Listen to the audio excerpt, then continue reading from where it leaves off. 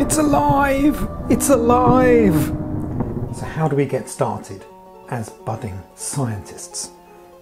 You need this the 3D Live Maker app. It's available from Google Play or from Huawei's own App Store. Uh, but bear in mind again, you only get to use this with the Huawei Mate 20 Pro at the moment. It's not going to work on any other smartphone. So you open the app and you tap the plus sign there that opens the front camera app. Now this does not use the rear camera just to make the whole process that little bit more awkward. You use the front camera because it's got the 3D scanning system. The rear camera doesn't have that. That's why you have to use the front cam.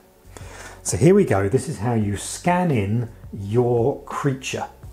It's worth pointing out just a few of the details inside the app. These are pre-installed models that Huawei has already added for you using creations which are obviously ideal for the app. There's the ones that we've scanned in and if you go up here there's a rather handy help system that does show you what to do if you get stuck. But before you worry about any of those things, give scanning a try yourself and you just hit the plus button to get started with your own scan. So here's what you should see on the screen. The toy is on top of a blue layer and that blue layer indicates that the app has found what you want to scan in. So it says on the screen, object detected, touch the scan button to start. And the scan button is just here on the screen. Now it's going to flash occasionally if it loses the target and also when you get too close you can see it goes all red so you want to make sure that you're back far enough preferably actually in reality that the surface is not white as we've got here then it does detect it better and once you're ready to go you tap the scan button and you'll see a line appear you'll see a line appear on top of the screen and that's your indicator bar. You need to shift the toy around in front of the camera all the while making sure that it's all still about the same distance away. You can see the bar slowly start to fill up the more you shift the toy around. And also what you'll see is that the toy becomes recognizable on screen and all the blue areas disappear. That means it's being scanned in as you go. So you just keep turning it around until all the blue areas have disappeared and the bar at the top is filled. Once the bar at the top is filled, then the process is complete. Now, it does tend to vibrate at that point, but it doesn't give you any other indication. You have to physically stop the scan yourself. And you do that by pressing there. And it will then say that it's building the model. This takes a few seconds. You can see a progress indicator on the screen. And it then renders it inside the phone and the whole process takes just a minute or so.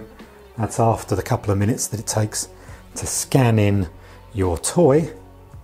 And once it gets to 100%, then you're ready to experiment a little bit further.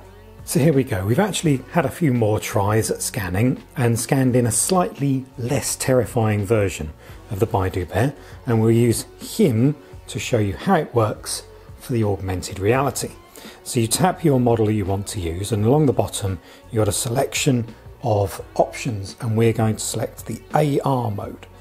Now it says here that you have to adjust the little bear or your model, whatever it may be, so that it's upright and facing forward. So we think that's fairly accurate there. You tap next and all of a sudden you've got your little bear on screen walking around in virtual reality, in augmented reality. Now, the problems occur when he walks towards you because his face goes like that, and that's not quite as cute as we wanted. But as long as he's walking away from you, then really he's quite cute.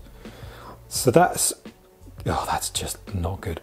Terrifying is actually the word. So what we want to do here is we want to use the augmented reality system. So you tap AR and you let the camera scan everything that's in front of you. You have a little progress bar in the middle of the screen. It sees your surroundings and all of a sudden your little bear is in an augmented reality world. And let's take a closer look at what he can do once he's there. So you don't have to use the augmented reality effects on a tabletop or the floor or anything like that. You can just use it in the app and see what it can do. There's a variety of different modes here, all of which make your character animate in different ways. So depending on how successful your scan has been is going to dictate the quality of what goes on in this particular section. The jump is probably the best one, although it does look like he's jumping when inside a sack. And the ballet one, well, it depends on your definition of ballet ability as to Bido Bear's scanned ability as a ballet dancer. Here, Kung Fu is similarly concerning because the poor bear's entire features all distort in a very worrying manner. However, if you've got, like we said at the start, the right item to scan in, these things can change. It also doesn't really help that Huawei makes your animated toy breathe. And that breathing gives, well, just that little bit of distortion. We get why it's done, but it's not actually that nice in effect. The fun part of it is you can play around with this, and those younger ones are not going to be quite so critical as us when they see their favourite toy come alive on screen. So here is our bear sitting on a stool, ready to interact with us. You can move him around on screen and sort of place him where you like. There's also a series of buttons underneath that give him a few actions. You can still use the little joystick just down here to move him around yourself, but you can also make him just wander around on his own on the surface.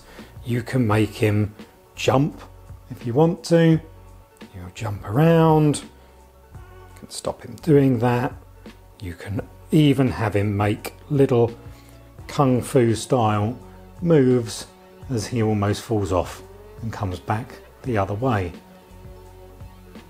And you can stop him doing that.